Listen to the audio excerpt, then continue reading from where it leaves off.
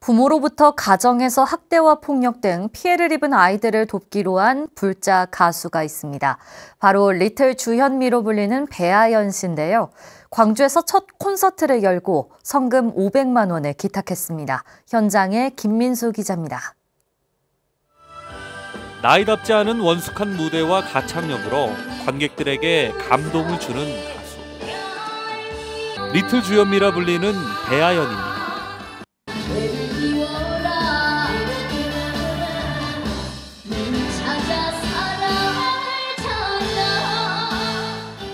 방송사 오디션 프로그램을 통해 가수가 된 배 씨는 어릴 때부터 엄마를 따라 남양주 불암사에 다니며 불연을 맺었습니다.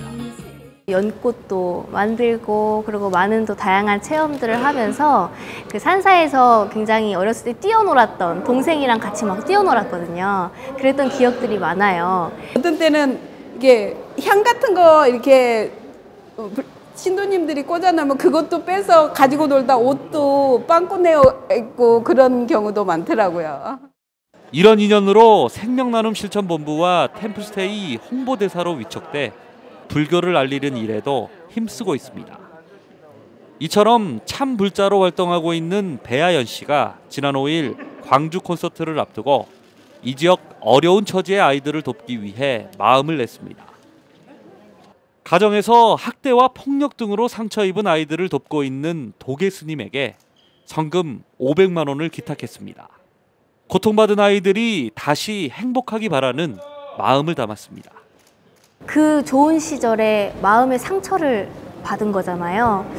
그래서 그 상처를 어, 조금이나마 이렇게 위로를 해주고 싶은 마음에 이렇게 조금 마음을 담아 보았습니다. 도계 스님은 작년 3월부터 가정폭력 피해 아동들을 후원하는 안아줄게 도담도담 프로젝트를 진행하고 있습니다.